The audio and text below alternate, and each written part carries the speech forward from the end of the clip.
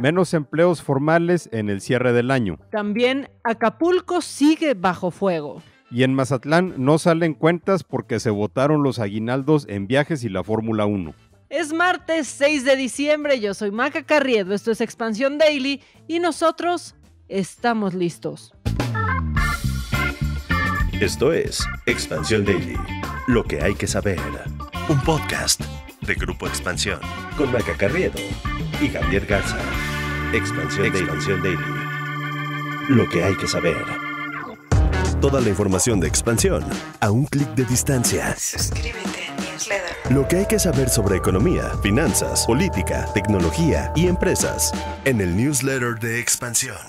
Entra a expansión.mx diagonal newsletter y date de alta para recibir diariamente las noticias más relevantes. Suscríbete a newsletter. Lo que pasa aquí y en el mundo. Newsletter de expansión. Que sea parte de tu rutina.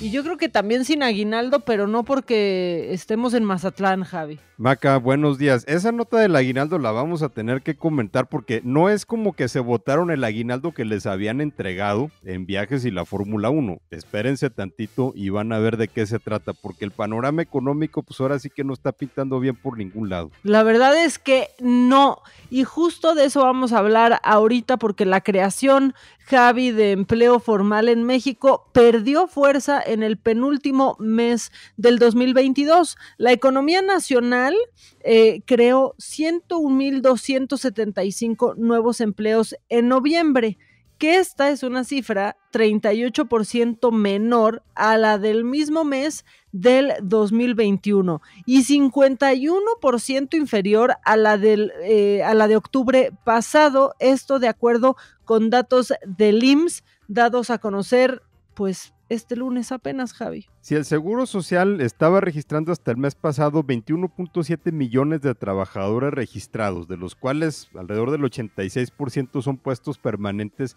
y el resto son temporales. Eh, sí hubo un, eh, aumento en el salario de los trabajadores a 483 pesos eh, y los eh, sectores que más generaron empleos fue el de transportes y comunicaciones, después de industria de la construcción y los servicios a empresas pero eh, debido a la inflación, eh, debido al alza de precios que no nos deja, pues también se está deteriorando la capacidad del poder adquisitivo del salario. Sí, no se cierra el año como se esperaba. ¿Cuáles fueron los estados que generaron más empleos? A ver, son Tabasco, Baja California Sur, Javi y Quintana Roo. O sea, hasta arriba y hasta abajo. Esos son los estados en donde se están generando más empleo, pero lo que estamos viendo es que con los nuevos puestos de trabajo, lo que se está debilitando es la seguridad social. O sea, también se están generando más puestos de trabajo temporales que no necesariamente tienen todas las prestaciones.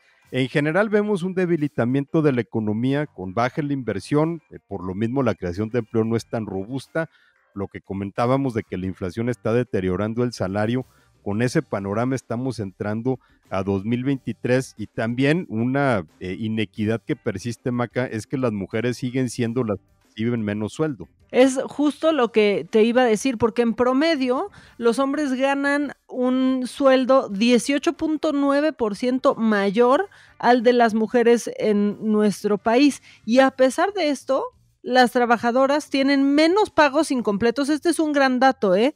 eh menos pagos incompletos, Javi, a cuatro años de haberse originado el crédito hipotecario de acuerdo con el Infonavit. Sí, o sea, las mujeres ganan menos, pero resulta que son más... Y pagan mejor. Si estamos hablando de que es un salario casi 20% mayor el de los hombres al de las mujeres, pues básicamente significa que eh, las mujeres eh, ganan 80 centavos por cada peso que recibe un hombre, pero a pesar de, tener sueldos más bajos, eh, el comportamiento de pago de las mujeres ha mejorado en los últimos dos años. Por cada 100 mensualidades al Infonavit, los hombres tienen 4.3 pagos incompletos, más que las mujeres cuatro años después de la originación del crédito. Oye, y es que van a decir, pues claro, los hombres tienen que mantener a toda una familia. No, no, no, no, no, señor. Esos son los datos y así están las cosas y las mujeres siguen o seguimos en muchos ámbitos ganando menos que, que los hombres. Y con el deterioro en la economía para 2023, Maca, pues todavía prevalece muchísima incertidumbre sobre qué es lo que nos trae el próximo año. Eso es lo que va a pasar en 2023. Vámonos a lo que está pasando ahorita en el país porque la violencia pues eh, continúa y cada día nos trae notas que a veces es imposible soslayar. Eh, ayer hablábamos del asesinato de un juez en Zacatecas el fin de semana. Ahora tenemos que hablar de este ataque armado en un bar de Acapulco que dejó cinco personas muertas. Eh, fueron dos ataques armados, el primero de ellos en un bar que fue el que tuvo este saldo y después otro en las inmediaciones del mercado central de la ciudad de Acapulco. Lo que dicen los primeros reportes es que en la madrugada del lunes, cinco hombres que estaban adentro del bar en la colonia Luis, Luis Donaldo Colosio, perdón, fueron asesinados a balazos por sujetos armados. La misma historia de siempre, Javi, con los resultados al parecer de siempre. Y que vemos cómo la violencia pues puede brotar en Zacatecas o puede brotar en Guerrero o puede brotar en Michoacán, pero eh, vemos a los grupos criminales eh, todavía con el, eh, sintiéndose con el poder, con la impunidad para poder hacer este tipo de ataques.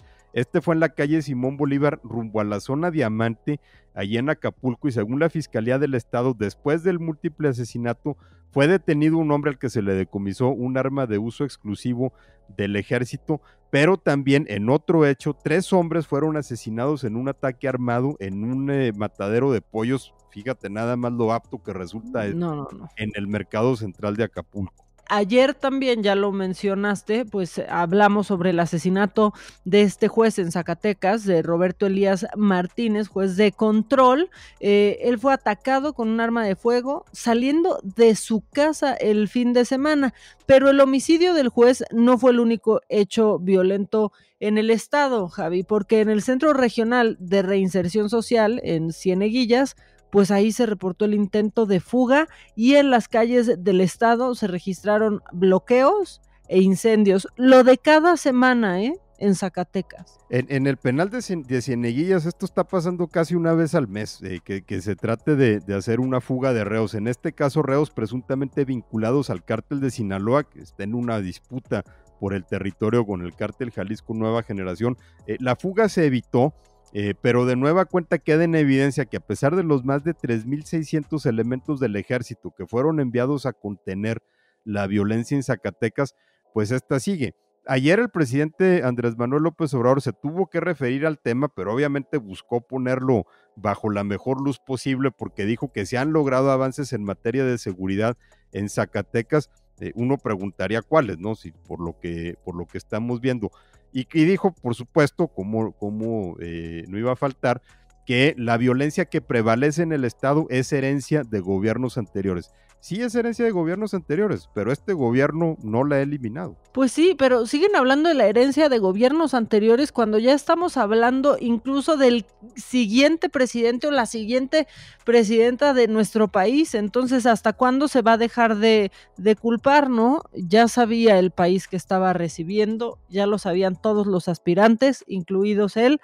¿Qué sigue, Javi? Lo que pasa es que la situación de inseguridad que estamos viendo, por ejemplo, gobiernos estatales de Morena que recibieron eh, situaciones de violencia, por ejemplo, en Sonora o en este caso en Zacatecas o en Colima, a pesar de los discursos, no la han podido frenar. Según el Sistema Nacional de Seguridad Pública, en Zacatecas, entre el primero de octubre y el, el primero de enero, perdón, y el 31 de octubre de este año, se han cometido 1090 homicidios dolosos, un promedio de 3.5 por día. Es una cifra menor a los más de cuatro que se registraron por día en promedio en 2021, pero pues digamos que no se ha bajado de manera sustancial como para poder decir que las cosas han mejorado en Zacatecas, ni en Guerrero, ni en otros estados. Bueno, a ver, ni en Campeche, por ejemplo, ¿no? Donde la gobernadora está mucho más preocupada por seguir sacando los trapos de sus enemigos que por gobernar y pues por lo menos los asaltos van subiendo en Campeche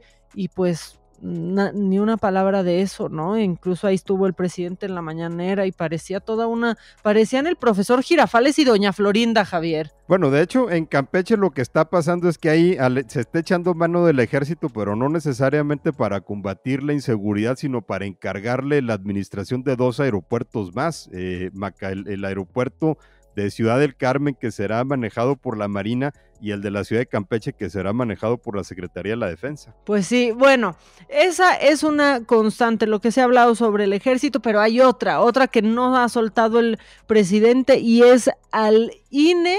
Eh, Javi, y estamos en días claves para esta reforma electoral y la OEA ya se manifestó al respecto. La misión de visitantes extranjeros de la Organización de los Estados Americanos, pues ya dijo que el sistema electoral mexicano no requiere cambios profundos. Fueron muy, muy claros en la difusión de su informe final sobre la observación de las elecciones federales y locales del 2020. 21, Javi. Es lo que se ha insistido eh, en varios sectores de que si no está descompuesto, pues no le metas mano, ¿no? Lo que pasa es que aquí Morena y el presidente López Obrador insisten en que el INE sí está descompuesto, probablemente porque no lo han logrado plegar a sus designios. Eh, el informe final de esta misión de observación de elecciones federales y locales de 2021 fue difundida por la organización de Estados Americanos lo van a someter a debate el miércoles en el Pleno del Consejo Permanente de la OEA, pero básicamente lo que la OEA está diciendo a partir de su observación de las elecciones del año pasado, pues es que el INE está funcionando porque se contaron los votos y se contaron bien.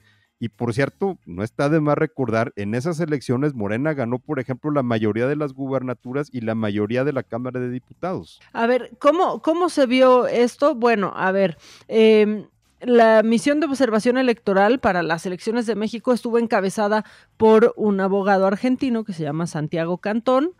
Reunió a 36 personas de 16 países todas esas personas acudieron a México a atestiguar los comicios federales y locales y de ahí se desprende este informe, Javi. Eh, entonces, en este caso, pues la OEA básicamente está diciendo el INE funciona, no hay necesidad de meterle mano. El documento dice que la principal amenaza a los procesos democráticos mexicanos es el alto nivel de violencia contra candidatos, funcionarios y equipos de campaña. Lo hemos visto, ¿no? Los asesinatos de, candidatos, sobre todo en las... Fueron las más violentas, Javi. ¿Cuántos ya, o sea, casi cada 15 días se hablaba de eh, un candidato a una alcaldía que ya había sido asesinado, que ya había sido asesinada, ¿no? Y que su hijo o hija o algún familiar tomaba ese lugar para seguir en la campaña. Eh, y básicamente con, este, con esta sección lo que la OEA le está diciendo al presidente es algo así como, si quieres arreglar algo, ¿no? Arregla esto, que es la violencia en contra de los funcionarios. Eh, también el texto refiere la preocupación por eh, señalamientos directos e individualizados a las autoridades del Instituto Nacional Electoral con alegatos de fraude desde altos cargos públicos y figuras partidarias, incluyendo al titular del Poder Ejecutivo. Eh, también la organización Human Rights Watch eh, advirtió que la reforma electoral impulsada por el presidente socavaría eh, la independencia de las autoridades electorales. Es una ONG más de esas que no le gustan al presidente, pero que insiste en este tema. Y López Obrador dice que hoy estará enviando su plan B de reforma electoral al Congreso de la Unión. No sabemos todavía qué contiene, si contiene temas como, por ejemplo, cambios en la forma en que se eligen a los integrantes del INE, pues esos estarían violando la constitución. Eh, puede que traiga eh, o se espera que traiga eh, el traspaso del control del padrón electoral a la Secretaría de Gobernación, un tema que también ha sido muy polémico y probablemente un recorte en el presupuesto y en el personal del INE. Y bueno, vamos a pasarnos a, temas un poquito más ligeros, Maca, porque ya ves que como empieza diciembre y entonces ya empiezan todos los resúmenes del año y los balances del año y una de las cosas que pasa siempre es que eh, se empiezan a elegir las palabras del año eh, en los distintos idiomas. La Real Academia Española todavía no saca la suya para la palabra del año del 2022, pero Oxford Languages, que eh, publica el diccionario de Oxford, que es el principal diccionario de la lengua inglesa, dio a conocer que según una encuesta a cerca de 300 mil personas angloparlantes, su palabra del año es Goblin Mode o modo duende. Yo la verdad ni idea de qué era esto, pero pues al parecer es muy popular. Pues ah, la verdad es que sí puede ser muy popular, pero pero no sé qué tanto de este lado eh, del charco. Lo que explica la universidad es que este modo duende es una expresión para hacer referencia a un tipo de comportamiento que es autocomplaciente,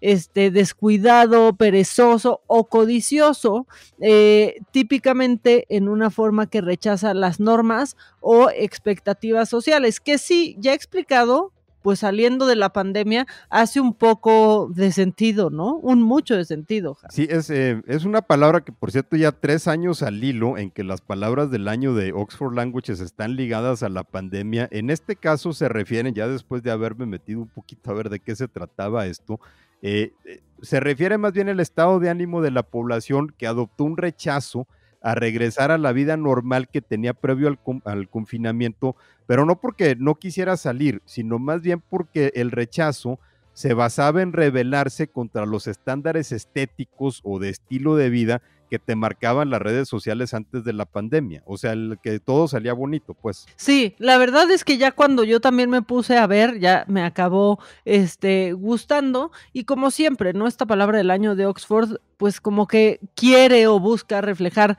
el espíritu, ¿no? Del estado de ánimo o las preocupaciones eh, del año anterior y potenciar, perdón, pues el término con un significado este, cultural duradero. No sé con qué nos vaya a salir la Real Academia de la Lengua Española este, este año. Yo estaba pensando en alguna otra palabra que se me venga a la mente como la palabra del año y la verdad es que, pues no. ¿Qué es lo que se nos puso de moda? Bueno, por ejemplo, en, el en 2020 había sido confinamiento, eh, el año pasado fue vacuna, la palabra del año en español, que por cierto en inglés, según eh, Oxford Languages, eh, fue lo mismo, fue la, bueno, más bien la abreviación VAX, que también se refería a las vacunas. Eh, no sé para este año qué, en qué, de qué estamos hablando, de qué hemos estado hablando. No sé, del INE, pero eso no creo que aplique para. No, pero eso no, creo que vaya a ser. Este, no, no sé qué, qué, vaya a ser. La verdad es el único rubro en donde sí está actualizada la Real Academia de la Lengua Española. O sea, sí le atina más. Inflación, por ah, ejemplo, por aquí nos está sugiriendo el productor que la palabra inflación pudiera ser, porque vaya que cómo dio lata eso en el año. Sí, cómo la hemos sufrido y la andamos sintiendo, este, pero gacho no, o sea, la inflación neta no acaricia, Javi. No, para nada, Maca. Por eso también eh, hay que cuidar el aguinaldo, no como estas gentes de Mazatlán. En serio, qué feo que sean así. Escuchen esta historia. Parece falso, pero es real. Porque los recursos que Mazatlán tenía destinados para el pago de aguinaldos se utilizaron en viajes de funcionarios a España y a la Fórmula 1. Así lo reconoció el presidente municipal Edgar González. O sea, chale Javi, no les, no les vamos a pagar, pero es que la neta, mandamos gente a España y al Gran Premio. Sí, o sea, por eso te decía al principio que no era, no era un asunto de que se habían votado el aguinaldo que les dieron en los viajes, sino más bien los, el dinero que habían estado ahorrando para pagar los aguinaldos de los empleados municipales ya se lo gastaron desde antes. Estamos hablando más de 200 billones de pesos que se desviaron, eh, entre otras cosas, a eh, cubrir agujeros presupuestales en varias dependencias municipales, particularmente el Instituto de Cultura. Pero sí hubo una parte fuerte que funcionarios municipales se gastaron en viajes y en, eh, y en la Fórmula 1. y lo que llama la atención es que esto es un asunto que tiene que ver con la actual administración de la que González Atara, que es el actual alcalde que ahorita se está quejando, formó parte, porque este cuate eh, entró en octubre apenas como alcalde en sustitución del, del, anterior, que era Luis Guillermo Benítez, que se había ido de secretario de Turismo del Estado. Eh, este, el actual alcalde González Atarén era el secretario del ayuntamiento del anterior, o sea, era parte de la misma estructura pero ahora pues tiene que salir a pasarle la bolita a quien era su jefe porque lo dejó sin dinero. Sí, y, y, un poco a lavarse las manos, ¿no? También dice que eh, los aguinaldos no fueron los únicos que se vieron afectados, también el presupuesto que estaba destinado a obras públicas, o sea, mal y de malas en Mazatlán, la neta, porque pues lo normal es que uno se gaste el aguinaldo en tonterías, pero en sus tonterías, no que alguien se gaste tu aguinaldo en sus tonterías, Javi. Claro, y que te lo gastes después y no antes, ¿no? O sea, que, que estés eh, agarrando de lo que vas a, de lo que vas a repartir. Que le digan al Canelo en Twitter que les mande una lana, Javi. Eh, pues sí, a ver si así se enoja también. Eh, están apuntando obviamente los dedos al extesorero municipal Javier Lizárraga Alarcón, pero ahora lo único que le queda a este alcalde Edgar González Ataren, que tiene menos de dos meses en el cargo, pues es tener que ir a pedir un crédito, ya dijo que sería de unos 130 millones de pesos para cubrir todos los agujeros presupuestales. Y pues cómo se estarán sintiendo los empleados de Mazatlán cuando de plano les dijeron, pues no hay, mano. Pues sí, pero aparte que vaya y ya pida su crédito rápido, ¿eh? Porque pues también el aguinaldo, o sea, pues no, decentemente se se da, sí, o sea, o ya se dio o la primera quincena de diciembre ya tarde, ¿eh? Así que ya más les vale que les empiecen a cubrir ese, ese dedo de una vez. Pero vámonos, Maca, que es martes, apenas estamos arrancando la semana. Exactamente, y este te- iba a hacer algún chiste del aguinaldo, pero no puedo hacer chistes del aguinaldo porque nunca me han dado, Javi. Mejor no, para que no se vayan a sentir allá también los que a lo mejor todavía no, como los de Mazatlán, que todavía no les llega. Javi, ya nos vamos, pero mañana aquí estaremos puestos y dispuestos desde muy tempranito. Si antes de que eso suceda se quieren poner en contacto contigo, ¿en dónde te encuentran? En Twitter y en Instagram, en arroba Ramos. Y a mí también ahí hasta que Elon Musk lo permita en arroba maca guion bajo online. Que tengan un gran martes, nosotros nos escuchamos mañana. Esto fue Expansión Daily, un podcast de Grupo Expansión con Maca Carriedo y Javier Garza. Este episodio llega a ti gracias a rss.com, el podcasting hecho simple.